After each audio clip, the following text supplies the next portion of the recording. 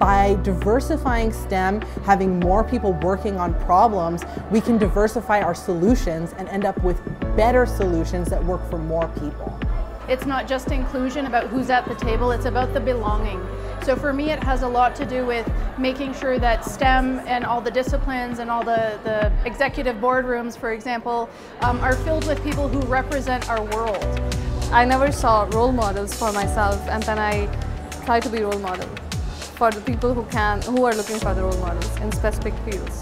I'm passionate about taking what I know about science and passing it on to the next generation and training those students to be the next leaders in the field of science. We need to show that we can change the world and we need to show um, the people that what we are capable of because if we don't set a good example, they won't follow.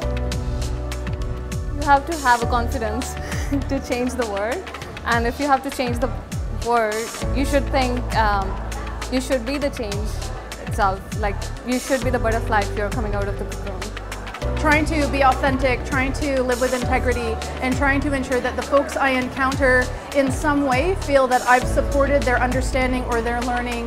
Well, I'll, I will do everything in my capacity to help women in our area really reach the top in their organizations to inspire them, to help them through funding and programming, activities and events, whatever I can do to help them break down those barriers and be the best that they can be. And it's things like this, these types of events where we bring students together and we really show them that they do belong here in STEM and that there's always a place for everyone.